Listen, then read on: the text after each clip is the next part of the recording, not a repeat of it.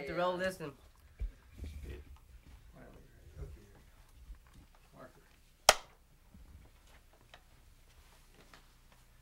You can begin. I arrived in Gary, Indiana, February the 20th, 19 and 20, about 2 o'clock in the afternoon. I immediately went over to my cousin's house on 1744 Monroe Street.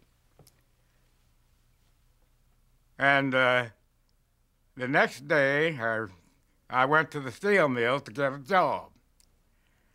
I went in what they call a bullpen. There's about a hundred or more men there looking for work. And the manager that was, uh, the agent that was hiring people, picked me out. Went over there, hey boy, I want you, come over here. And I got a job. They put me in the department, uh, blast furnace department. And I worked about three or four days there, and I couldn't stand the gas, and I quit that job. And I didn't like it to begin with because it was a 12 hour, 12 hour day. So, uh, and a couple of days later, I went to, to the tin mill. I got a job in a tin mill. And uh, they gave me, uh, they, the manager said, You look like you'd like make a good tin house worker. And they put me in a tin house. And I uh, learned how to operate a tinning machine. And uh, uh, a tinning machine, was a machine that had hot metal and oil, and you'd run very thin sheets of steel through that tin metal and come out uh, in sheets. And uh, I liked the job, and I stayed on that for 17 years. Now, this job in the mill. Okay, we have to stop for just a second. The job that I went on uh, as a tin operator, running sheets of tin through hot metal, it was a dirty job with gas and oil and acid, and I had to fire my own furnace to keep the metal hot, and to go to the basement for that, and it was really rough, hard job. But I was tough enough, and it didn't bother me at all. And uh, I liked it because it was piecework, and an eight-hour day, which was uh, something that I wanted, and I didn't want to, uh, a job where I had to work 12 hours, and I was fortunate in getting a job that I only had to work eight hours. And my salary was run from anywhere from five to eight, and once in a while I'd make nine dollars a day. That was very good money over the basic wage of three dollars and forty-nine cents a day for labor. Okay. Now, when we talked on the telephone, you told me that that the black people they would steer black people into certain jobs, the harder jobs, the more dangerous jobs. Can you tell me that story again? Well, I think it was just about the same. Uh, of course, there were dangers. Uh, the dangers was because you had metal and water. And now if that water got in contact with the hot metal, it was splash. And uh, there were white workers in the department. The only discrimination at the time I went on, uh, got job, was the fact that there were no uh, black uh, mechanics, machinists. And but after a year or so, they began to put them on. We didn't have too many problems. The only problem, big problem we had was uh, wage cuts. Every looked like every week or so they'd cut our wages back, and we began to protest. With, and I took the lead in setting up a tin-house club, and uh, we protested against the company, and we shut, had a shutdown for a few hours. Okay. Now, that's good. Tell me about uh, your experience with the amalgamated and how you joined and what you did as an organizer. The old Amalgamated Iron, Steel, and Tin Workers Union made an effort to organize when they heard about the CIO coming on the scene. And there was an electrician that was a very nice sort of a fellow. And uh, somebody told him that uh, that uh, I had uh, gotten a group of workers together protesting the cuts. And so he contacted me. Uh, he says, well, we need a union here. And gave me some cards, and I started writing up. And I think I wrote up about 14 of the fellows that I've been working with. And uh, it wasn't too long then, the CIO, the Steelworkers Organizing Committee, came on the scene, and I went to uh, joined them. Now, why did you leave the amalgamated and go with the CIO? Because it was better. Tell me Those how. amalgamated hadn't done anything for blacks, and I knew it.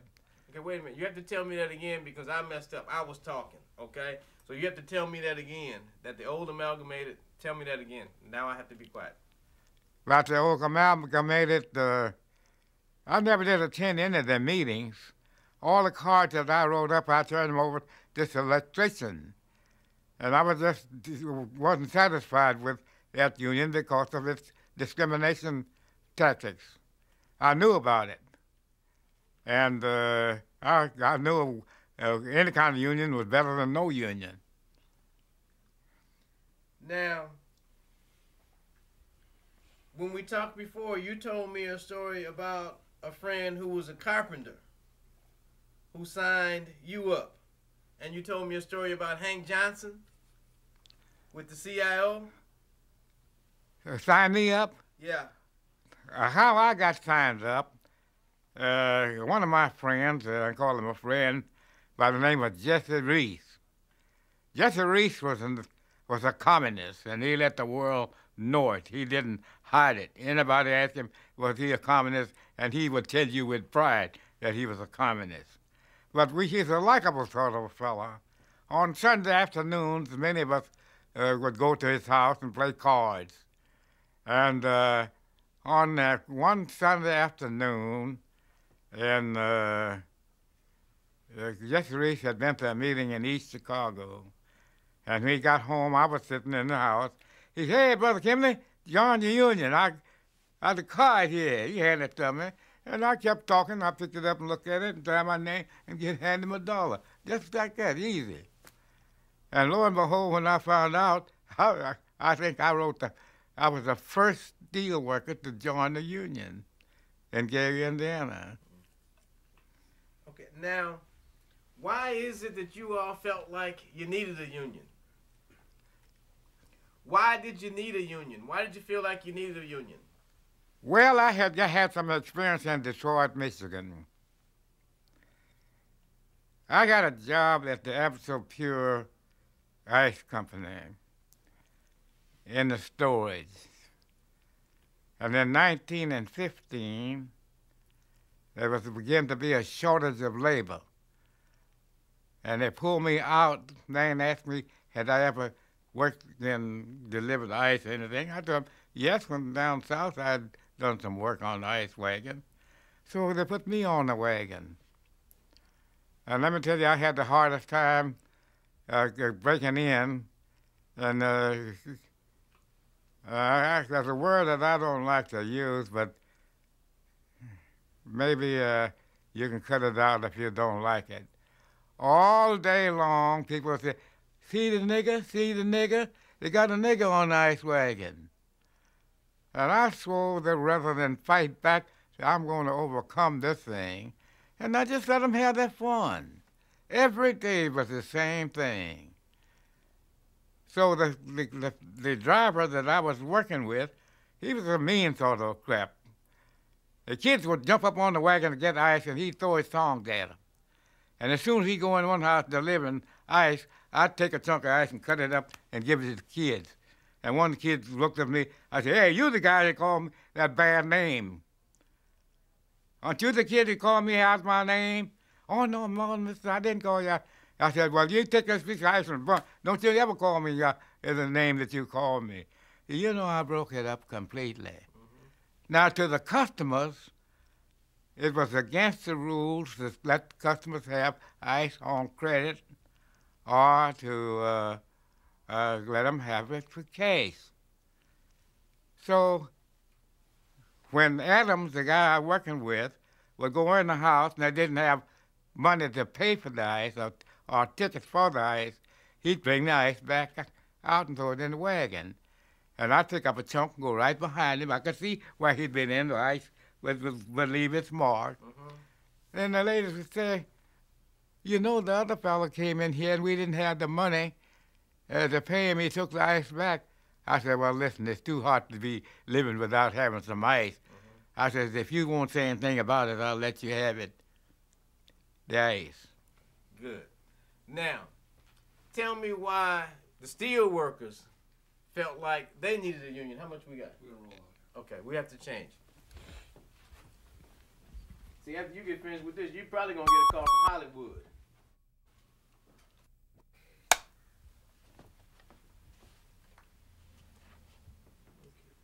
Now you're gonna tell me why the steel workers needed a union, why they needed the CIO. Well, there were many reasons why the steel workers needed the union. In the first place, the wages were way too low. And another reason is there was all kinds of rackets being built around the steel workers. They want to seem to keep them almost enslaved. Twelve hours were too many hours to work in any any job. And uh, with low wages and uh, no vacations and and uh, pension fund was little or nothing, uh, twenty-five and thirty dollars a month or less. And uh, there was just need for a union, and many of the jobs was had was uh, bad uh, jobs where you were against the one's sales assets and gas and water and and all kinds of dangers and people were being injured and they weren't get, being properly paid. There was a hundred or thousand reasons why there was a need for a steel union. Now, what was the relationship like between the workers and the people that ran the plant? What was that relationship like? I mean, you all had these problems and you would tell them about them, and then so what would happen? What was that relationship like? I, I didn't say have bad relationship with the management. Uh, before the union, uh, I got along with people. Uh, maybe I just was tough enough to understand to, to take care of the little hardships that I had to go through. Because I just got been out of the war for a year. I was discharged in February 19 and 19, and I was still pretty tough from the war. Six months is a long time to be on a fighting front, and you can imagine what one would go up against. Okay, but what about some of the other people that you worked with that wasn't so tough? How was their relationship with the people that ran the, the mill? Well, they were just looking for somebody to lead them, and uh, I guess I had guts enough to do it. See, and I, well, I wasn't harsh at the company. I talked reasonable with them, and I talked with them in such a way. I said, "Well, as to what would you do if you were working?" And I, I didn't have any problems with the management. They called me in one time, sit down and talk with them just like we're talking. Okay. Now, you had said that um, your friend Hank, Hen- Henry Reese was a communist. Yes. Now, from what I read, there was a lot of communists that were in the CIO, that they were good organizers. Can you tell me about that and their involvement? Well, yes. Let me tell you, Philip Murray would have never organized the steel workers in the dig in Gary, Indiana, or Northwest Indiana, if they hadn't taken the communists in. The communists had their hands on the masses of people. Now, mind you, back in the early 20s, the Ku Klux Klan had just about uh, controlled Northwest Indiana. They had it almost buttoned up, and all, in fact, almost had the state of Indiana. When I got there in February the 20th, 19 and 20, the only meetings that black people would go to was the church. And there were two organizations that would stand up against the Ku Klux Klan the Communist Party and the Marcus Garvey's outfit. I belonged to Marcus Garvey's outfit. I got along with the communists. Uh, they wouldn't, didn't want me in the, in the union uh, as a member because I was almost a fellow traveler. I liked the way they operated. The only reason that I didn't join the Communist Party is because they didn't believe in God. That's the only reason that I didn't join. I like the way they operate. They sit down and eat with you. They laugh and talk with you. You go to their meetings. You dance with you. And it made no difference, see? But uh, they have the ulterior motives in you in. And when I was found out that they didn't believe in God, well, I just backed off them. But two or three times the communists saved me against some of my own friends who thought the best way to get on the staff was to get rid of Kimbley. And as I told them, I said, listen here, you don't have to get rid of me. You come go around with me and learn. The union is young yet. Good. Now, beyond um, the communist involvement, what were race relations like within the union? I mean, I know that there were a lot of ethnic, a lot of ethnic groups and so forth. How did all the ethnic groups and different races get along within the union?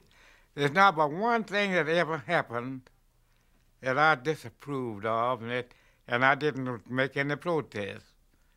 In one of the big local unions, and I attended. Now I'm on the staff now. I went on the staff in September, I, in uh, uh, August 1937.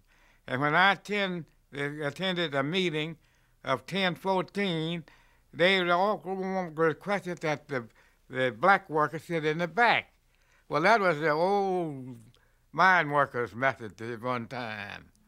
I protested, I think, to some of the people, and from then on, they just said nothing about where you sit when you attend a meeting. That's the only difference that I saw the whole time I was in the union. Now, do you remember your first union meeting that you went to? Well, that was one of them.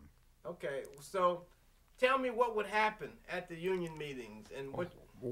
I mean, well, how, did you, how did you get in and make sure that people that weren't in the union getting in there, the spies and that kind of thing? Tell me about that. Well, I tell you what, we were in the drive to get the workers in the union, and uh, we'd have uh, what we call educational uh, uh, meetings on picket line, and if you didn't have your card, you couldn't get in. See, uh, on one or two occasions we had a problem that uh, I thought was going to get nasty. One of my friends told me, he said, "Listen, Kimbley, I'm going to get in. I'm not, I don't belong to the union." And I'm going to get if those any of those SOBs try to stop me, I'm going to shoot the hell out of them. I says, now listen, you don't have to do that. See, when you come down the line, I see you coming. I'm going to escort you through, and I did. See, but he didn't know that I had written his card up and put it in the basket as a member of the union. And when he woke up, he was in the union, and I signed his card. Now tell me um, about how you recruited uh, John Howard to the union. You signed him up, right? I went to his house. Me, oh, wait a minute. Now tell me that story. I went to John L. Howard's house and uh, I heard about him being very prominent in the mill, was well thought of. And uh, I talked a little bit about the union, not too much, because he'd already known. And I wrote him up. Didn't have any problem at all with getting John Howard in the union.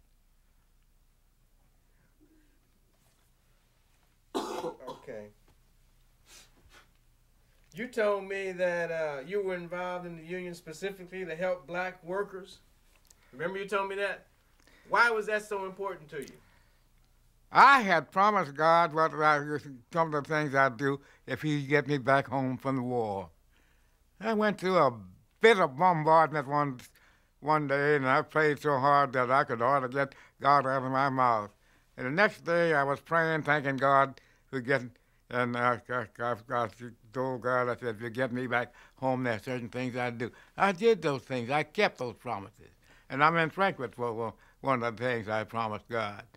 And I, when I, when, when Hank Johnson uh, decided that we're going to put on a more black organizer, Walter Michael turned it down, Stanley Cotton, Cotton turned it down, and a fellow named Dogan turned it down, and when they got to me, I accepted because I didn't have any family at that time.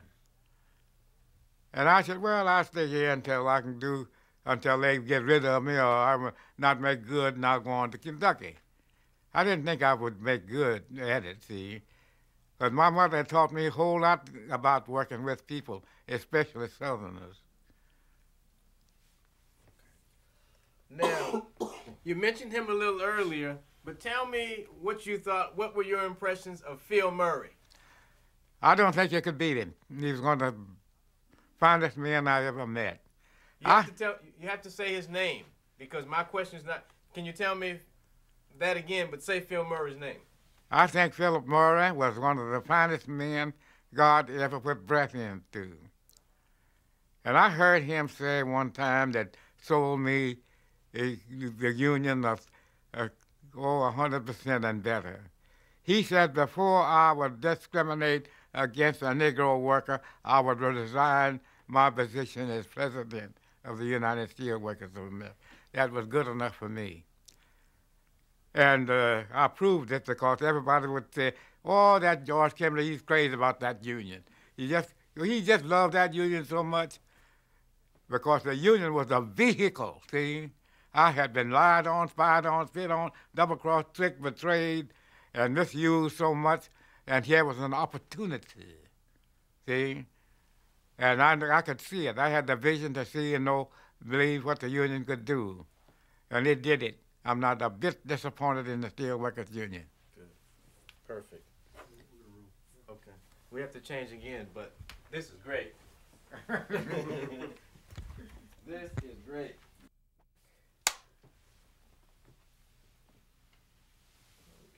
Okay, you can go. When Roosevelt came in as elected, uh, everybody was happy because he had a program. He had an agenda for the people, and he was not anti-labor. Uh, the unions endorsed him, and of course, everybody was waiting for somebody to, to try to deliver us from the depression. It was a pretty deep depression.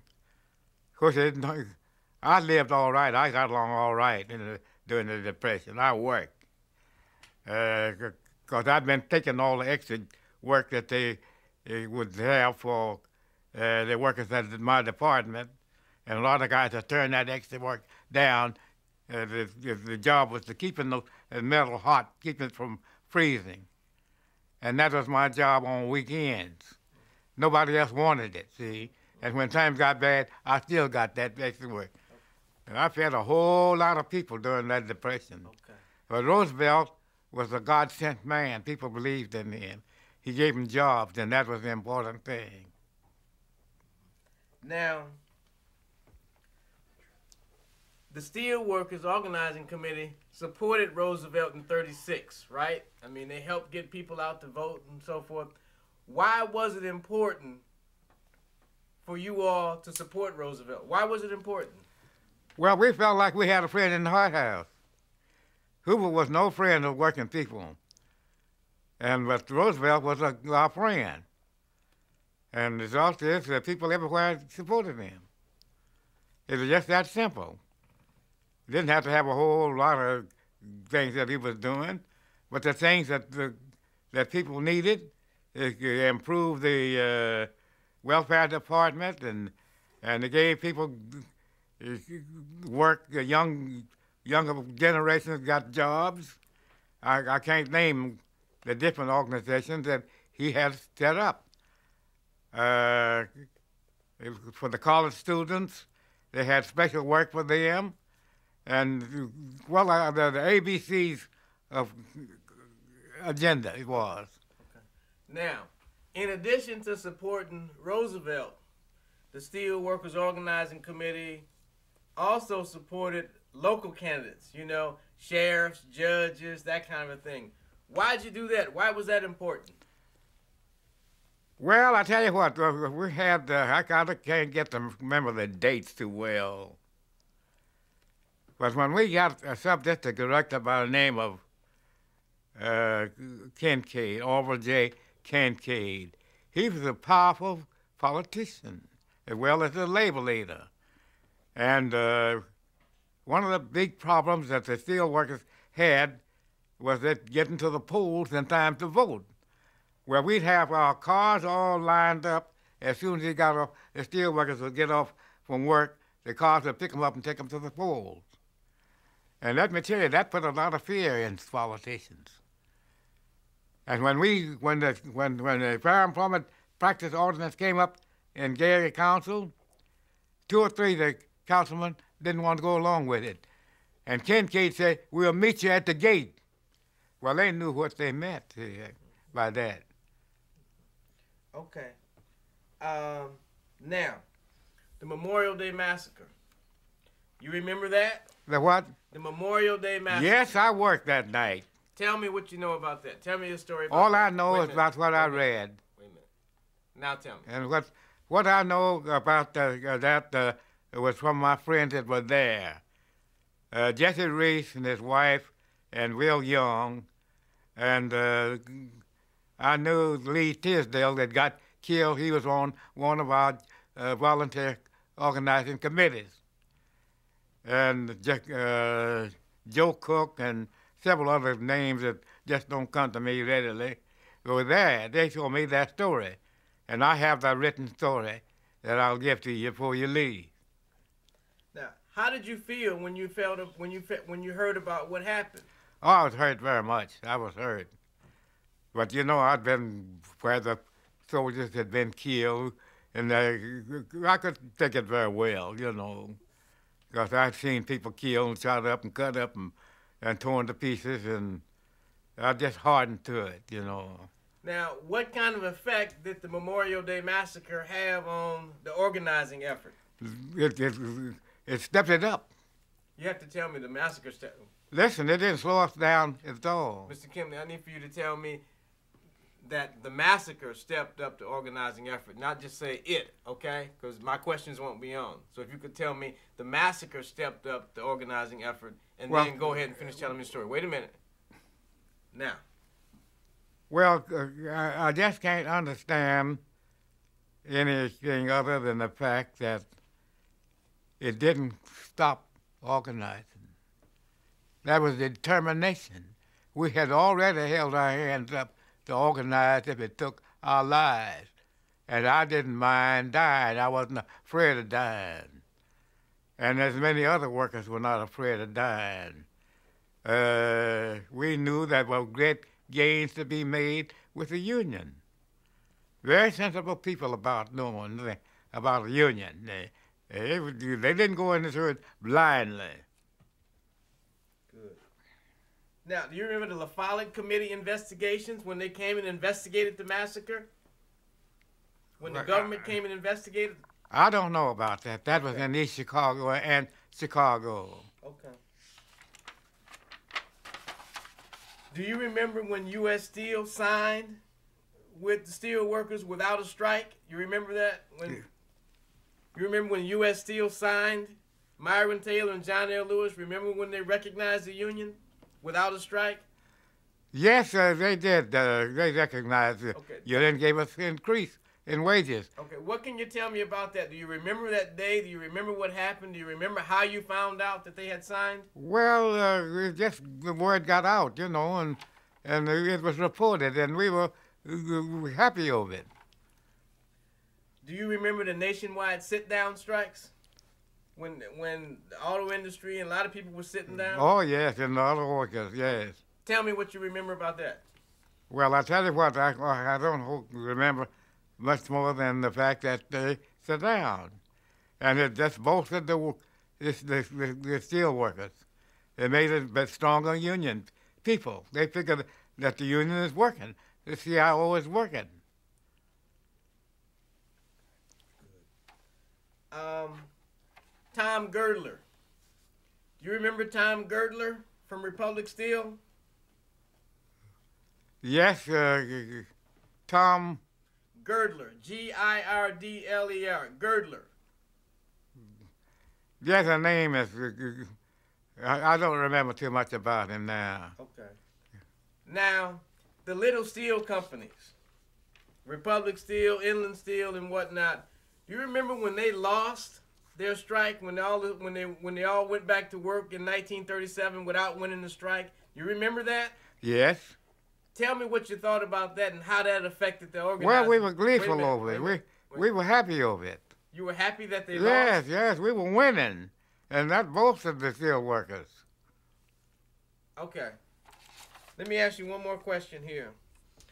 When you think back about the union and what you did, what is it that you're most proud of? What makes you proud? That we won. That, we won, that we won. That the union had actually done a job for not only the steel workers, but for, but for the citizens of Gary, Indiana, and Northwest uh, Indiana, and the Calumet region also. Because there were about six dif- districts in the steel, District 31, and they all were prospering. How much we got? Okay, let's stop for a second. Let's stop.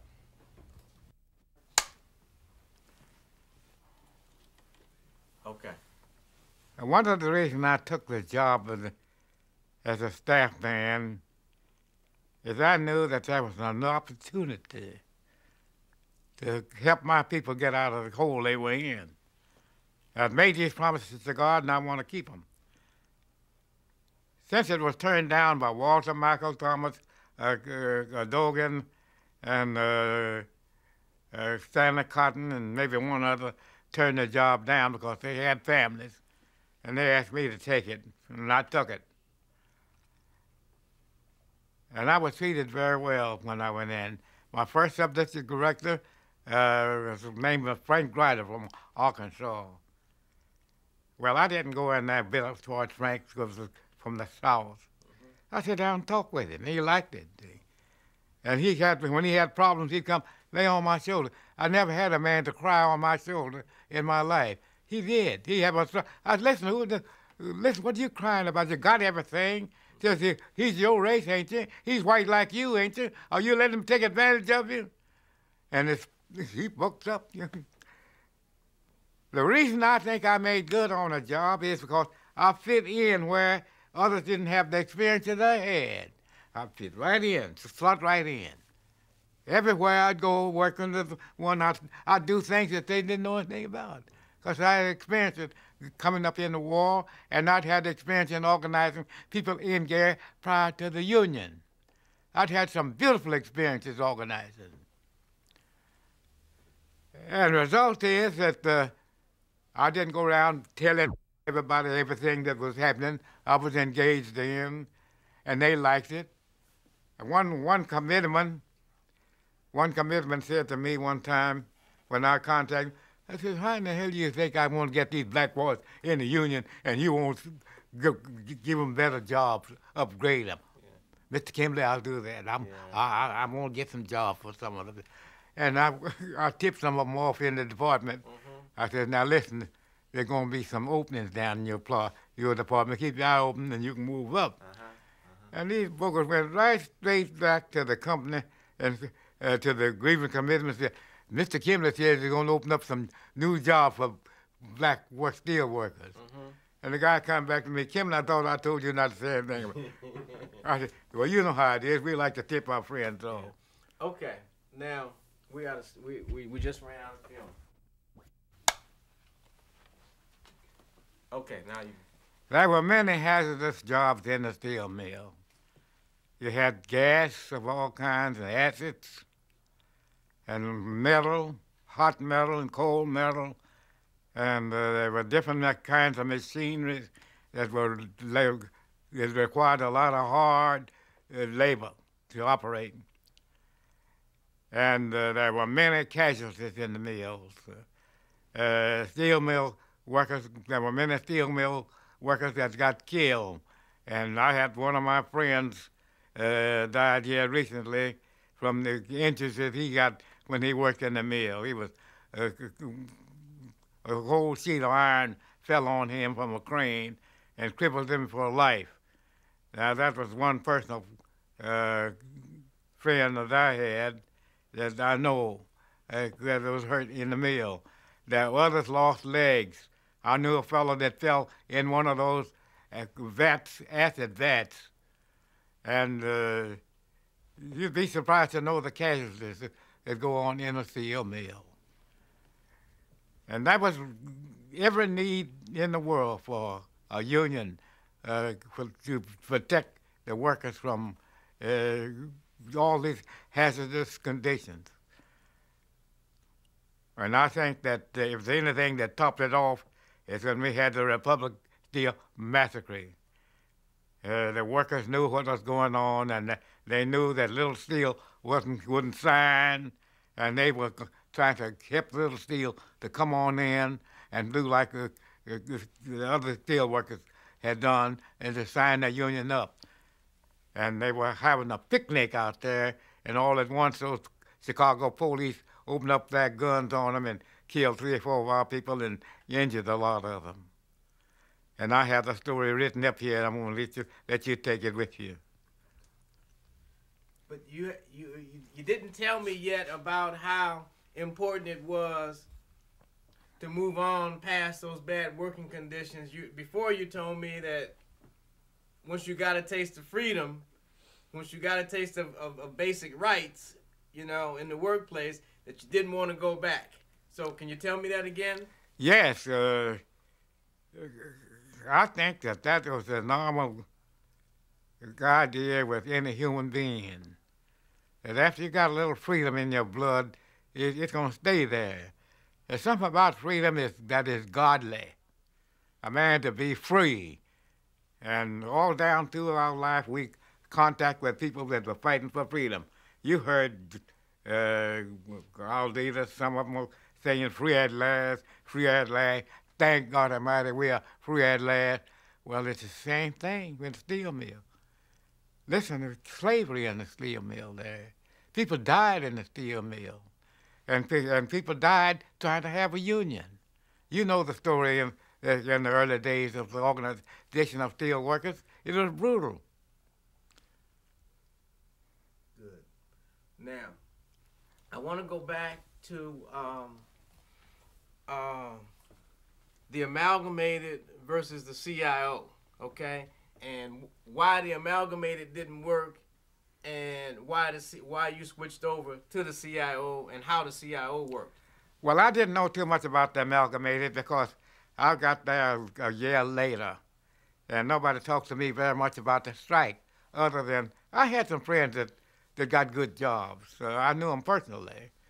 Uh, some were electricians and some were in, uh, had other uh, jobs, me- mechanics and uh, uh, cranemen. There's a number of black cranemen when I arrived in the steel mills. And you, you had that to go on, see. And when these workers began to hear talk about freedom, that everybody's going to be treated alike. That if you were entitled to advance in the union or on a job for on the ability to do a job with seniority, you'd get it. I felt for it just like that when I heard it. You didn't have to sell it to me. When man began to talk about uh, being free to, to move up uh, like any other steel worker, I jumped for it. I believed it. And when I heard Phil Murray speak, I was tickled to death to, to hear a man, and you could just feel it in his voice that he meant it. And the February, the, it was in February 1937 that we had a conference of all Negro organizations in Pittsburgh. And it was there when I got up, rose with all the steel workers that were in that meeting, held their hands up and swore to die to see that the steel, black steel workers would be organized 100% in the steel workers union, and I was one of them. Now, um, do you remember John L. Lewis? What can you tell me about John L. Lewis? What did you think oh, of him? he was. Wait a minute. Now tell me. You have to say his name too, okay? Well, John L. Lewis was was come right along the line uh, with uh, Phil Murray. They worked together. I didn't know a whole lot about him, but uh, he both the steel workers steel, steel workers organized committee by donating money to help to organize. So there might have been a whole lot of politics in it somewhere, but that I didn't keep up with it, see.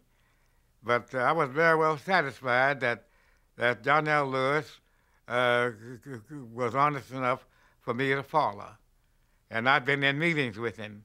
The first meeting that uh, I was with, in with him was the Wage and Policy Committee meeting in Pittsburgh.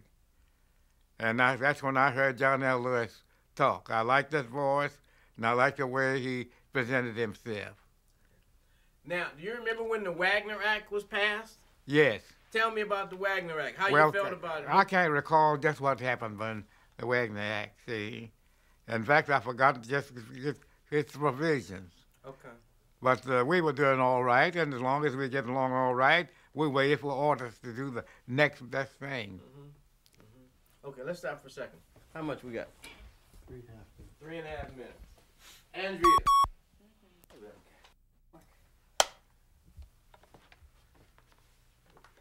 Okay, tell me what you're telling me again.